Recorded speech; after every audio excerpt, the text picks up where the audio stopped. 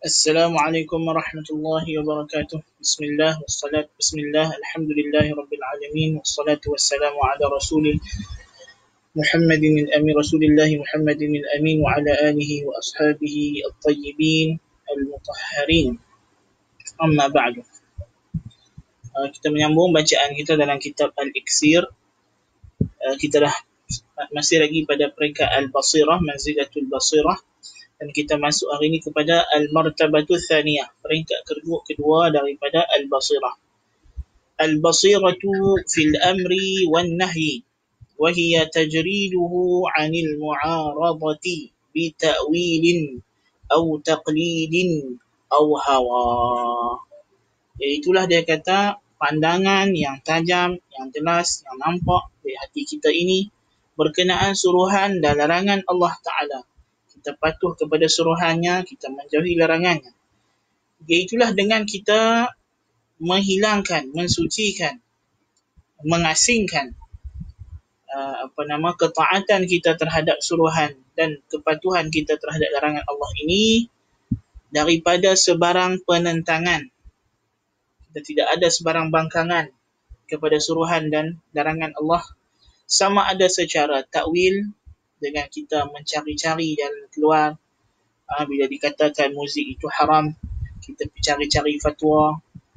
Sedangkan dalil telah pun jelas misalnya itu dipanggil mu'aradah bita'wilin atau taqlidin atau dengan alasan bertaklid. Walaupun dalil sudah jelas tapi sebab saya ni mazhab Hanafi, saya ni mazhab Maliki, saya ni mazhab Syafi'i, saya ni mazhab Hanbali maka kita masih lagi tidak mau mengikut dalil. Walaupun secara asasnya ada perkara-perkara dalam furuk syariah ini memang harus kepada taklid. Tetapi jikalau seseorang yang telah menuntut ilmu dan mengetahui dalil dan dan nampak kepadanya sesuatu pendapat yang rajih, maka ketika itu tidak boleh taklid. Dia kena pergi kepada pendapat yang dia pada diri dia sendiri nampak rajih walaupun tidak ada halangan untuk orang lain untuk bertaklid.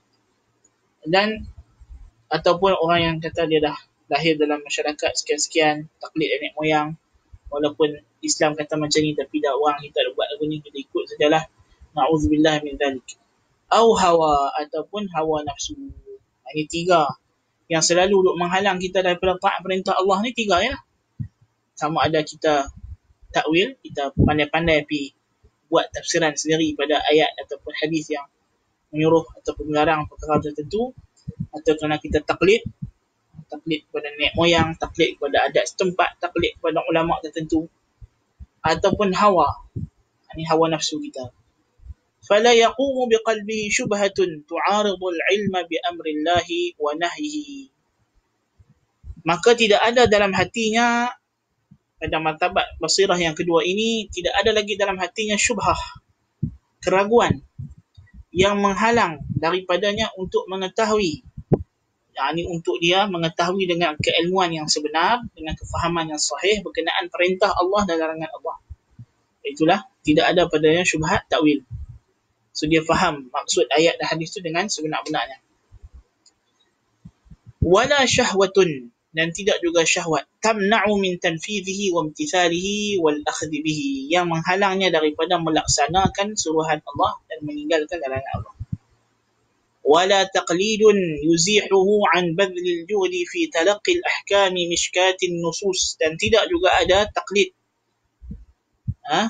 yang menghalangnya daripada mencurahkan segala usaha dan tenaga untuk menerima hukum hakam daripada apa nama cahaya lampu suluhan nas.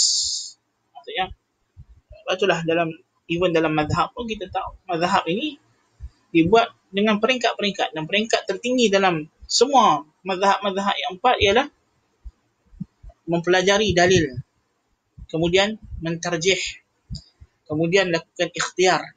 Nah itu yang dilakukan oleh para ulama mazhab yang, yang besar-besar. Setiap mazhab peringkatnya sama walaupun bermula dengan taklid semata-mata mengaji kitab yang tidak ada tidak ada dalil semata-mata teks ringkas kemudian naik kepada perbincangan sedikit. Ah, kemudian sampailah peringkat yang tertinggi ialah mempelajari kemudian mempelajari dari dalil mazhab itu sendiri bagaimana wajah-wajahnya. Ah, kemudian membandingkan pendapat-pendapat dalam kalangan ulama-ulama mazhab kemudian dibandingkan dengan mazhab-mazhab yang lain dan dibandingkan dalil-dalil setiap mazhab dan dilakukan penterjihan. Ha, jadi maknanya orang yang hanya nak kekal pada peringkat awam. Orang awam yang tidak ada ilmu, tidak boleh bahasa Arab, kita kata memang dia hanya taklid kepada mufti dia tapi orang yang diberi Allah Ta'ala kemampuan untuk belajar, untuk menuntut ilmu, kenapa masih lagi nak mengekalkan dirinya di satu takut, di satu tempat yang tidak melayakkan dia untuk menjawab jawatan ataupun tidak melayakkan dia untuk menjadi orang yang memberi uh, fatwa. Jadi maknanya itu adalah satu yang yang rugilah dalam dalam hidup kita ini. Ha? Bukanlah nak suruh semua orang jadi mufti. Tak. Mufti ni jawatan berat. Kita tak disuruh tergeger nak menuntut jawatan mufti tak. Tapi dari segi biarlah kita ni ada ilmu. Paling kurang kita boleh fatwakan diri kita sendiri. Ha, kaum keluarga kita, sahabat handai kita bila jadi masalah-masalah tertentu. Jadi maknanya tiga perkara ni Ibn Qayyim kata takwil menghalang kita daripada mengetahui nas dengan betul. Syahwat menghalang kita daripada melaksanakan. Dan taklid pula menghalang kita daripada menilai pendapat-pendapat para ulama. Dan boleh jadi dia akan membawa kepada syahwat. Dengan alasan taklid kita mencari-cari pendapat yang bersesuaian dengan syahwat kita. Dan ada juga orang yang kita tak nafikan juga ada pula orang yang konon-konon depa ni fiqh sunnah. Ha, konon-konon nak ikut dalil tapi hakikatnya dalil hawa nafsu juga.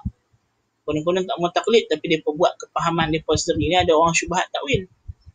Kan? Ha, ada orang kononnya sebab ikut fiqh sunnah kan. Ha, apa nama pergi kedai depan rumah qasar solat. Kata ni apa ni? Ha, kan? Dalil mana dia pakai? Ha, kan?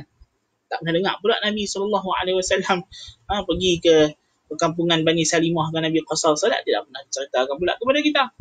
Ni apa cerita engkau pergi apa daripada seberang perai pergi ke Pulau Pinang. Ha, Qasar Salat ni apa? Amalan siapa? Ulama mana? Ha, kan? Tidak ada tak? Ha. Jadi dia pula pandai-pandai faham ha, mazhab dia sendiri. Kan? Ha? Semayang di rumah, semayang jemaah tak pergi musim-musim yang kita boleh semayang jemaah lah. Lah ni memang semua pakai semayang di rumah. Nak, kalau kita musim hujan lah ni, tak dia ada pula orang yang tak kerti bahasa. Ha? Dia kata oh, hujan boleh, boleh jamak. Dia pun jamak di rumah. Mana boleh lagu tu? Jadi kena faham. Kita kata nas mesti diapit dengan kefahaman ulama salaf. Siapa dia ulama salaf? Yang kita kata kefahaman salaf ni siapa? Mazhab yang empat ni lah. Mazhab yang empat ni lah. Mazhab kefahaman salaf yang yang yang yang stabil, yang mustaqir, yang tersusun yang kita boleh rujuk untuk mewakili mazhab salaf kefahaman salaf Imam Abu Hanifah, Imam Malik, Imam Syafi'i, Imam Ahmad bin Hanbal dan anak-anak murid mereka dan ulama-ulama mazhab mereka yang memahami uh, nas-nas uh, para ulama ini dan menjelaskan kepada kita. Uh, so macam mana? Betul lah Syekh Muhammad bin Abdul Wahab rahimahullah taala telah menyebutkan dengan jelas dalam salah satu surat beliau kata kami tidak melarang orang untuk bertaklid. Bahkan kami mewajibkan orang Islam untuk bertaklid kepada salah satu daripada mazhab yang empat. Dan kami melarang daripada bertaklid kepada selainnya. Dan insyaAllah mungkin kita boleh, ini kalau kita ada kelapangan masa, anda memang uh, suka kalau kita boleh baca kitab uh, karangan Ibn Rajab Alhamdulillah rahimahullah itu kitab khusus uh, pendarangan untuk kita keluar daripada salah satu daripada mazhab yang yang empat. Sekarang ni banyak sangat orang mencari-cari alasan ya, untuk buat perkara bid'ah ataupun nak ikut hawa nafsu, nak syahwat, diperlapikkan pendapat ulama. Nak semayang Jumaat tiga orang kat rumah lah. Apalah ini semua adalah perkara-perkara yang yang yang yang sungguh apa nama kita kata merosakkan agama Allah Subhanahu wa taala. Al-martabatu al-thalithah al-basiratu fil wa'di wal wa'id.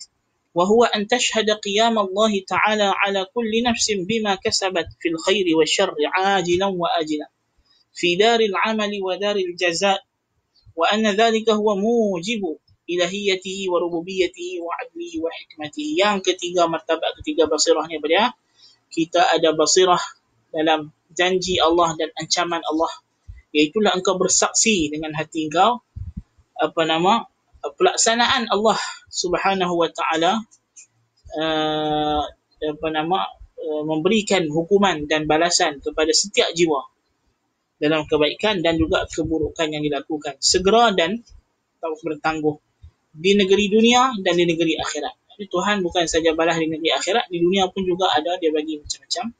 Ah, seperti kita ada sekarang ini. Dan itu adalah termasuk di antara apa nama konsekuens keilahian Allah Taala. Dia sebagai Tuhan yang berhak disembah, dia sebagai Rabbul Alamin yang mencipta, mentadbir dan mengurus atur alam, keadilannya dan hikmah kebijaksanaannya. فإذا انتبه وأبصر أخذ في القصد وصدق الإرادة وأجمع القصد والنية على سفر الهجرة إلى الله وعلم وتيقن أنه لا بد له منه فأخذ في أهبة السفر وتعبئة الزاد ليوم المعاد والتجرد عن عوائق, عن, عن عوائق السفر وقطع العلائق التي تمنعه من الخروج. فإذا استحكم قصده صار عزما جازما مستلزما للشروع في السفر مقرونا بالتوكل على الله. قال تعالى فإذا عزمت فتوكل على الله. Dia kata, apabila dia telah tersedar dan nampak jalan, telah nampaklah mata hati dia telah terbuka melihat, maka dia mulalah ada qasad, ada tujuan, ada niat. Ha? Dan kehendak yang jitu. Dan berkumpullah segala niat dan kehendaknya untuk memulakan perjalanan berhijrah menuju Allah. Dan dia tahulah dan yakinlah tidak dapat tidak daripadanya untuk melakukan persiapan musafir dan melengkapkan bekalan untuk hari akhirat Dan melepaskan diri daripada segala halangan-halangan musafir. Dan memutuskan segala hubungan yang menghalangnya daripada keluar untuk bergerak menuju Allah. Apabila ke- kehendaknya itu telah semakin jitu, jadilah ia satu keazaman yang teguh yang melazimkan dia melaksanakan, memulakan perjalanannya itu. Disertai dengan tawakal kepada Allah. Firman Allah Ta'ala, فَإِذَا عَزَمْتَ فَتَوَكَّلْ عَلَى اللَّهِ Bila engkau telah berazam, maka bertawakallah kepada Allah Subhanahu wa Ta'ala. Wal-azmu dan azam itu huwal qasdul jazimul muttasila bil fi'il. Azam ialah niat tujuan yang jitu yang bersambung dengan fi'il. Yang ini terus disertai dengan perbuatan. ولذلك قيل إنه أول الشروع في الحركة لطلب المقصود فإتlah disebutkan azam itu ialah perkara pertama yang dilakukan dalam pergerakan untuk menuntut sesuatu yang hendak dicari ataupun ditujui. Wa haqiqatuhu wa istijma'u qiwal iradati 'ala al-fi'l dan hakikatnya ialah menghimpunkan segenap daya upaya kehendak untuk melakukan sesuatu perbuatan. Wal azmu naw'an. Dan azam ini ada dua jenis. Ahaduhuma azmul murid 'ala azmul murid 'ala ad-dukhuli fi at-tariq wa hadha min al-bidayat wathani azmun fi hali sayri wa huwa akhassu min hadha. Yang pertama, azam seorang murid untuk masuk ke dalam jalan. Yang ni, dia berazam untuk memulakan dirinya, masukkan dirinya ke dalam golongan ahli ibadah, ahli zuhud atau dalam istilah apa nama disebut para ulama ahli tasawuf. Maksudnya bukan tasawuf yang kita faham tasawuf yang sesat ni, tapi tasawuf uh, di sisi ulama salaf tasawuf uh, amalan beramal dengan sunnah dan menjauhi bid'ah. Wa hadha min al bidayat ini permulaan. Wa azmun fi hal sayr. Dan yang kedua azam ketika sudah bergerak. Wa huwa akhassu min hadha. Dan ini lebih khusus lagi. Ini bila dah dah bergerak dia akan uh, still ada keazaman untuk meneruskan perjalanannya sehingga sampai kepada tempat yang dituju. Dan insya-Allah pada apa nama kelas yang akan datang kita akan ambil sambung. Itulah manzilatul muhasabah Dan terlebih dahulu kita umumkan bahawa eh, jadual kelas ini insya-Allah ialah pada selang-seli iaitu pada hari uh, uh, apa nama Selasa, hari Khamis, hari Sabtu dan juga Ahad insya-Allah taala. Insya-Allah Selasa, Khamis, سبت للواء أحد إن شاء الله تعالى قلت لكم ما سمعتم سبحانك اللهم وبحمدك أشهد أن لا إله إلا أنت أستغفرك وأتوب إليك وصلى الله على نبينا محمد. السلام عليكم ورحمة الله وبركاته.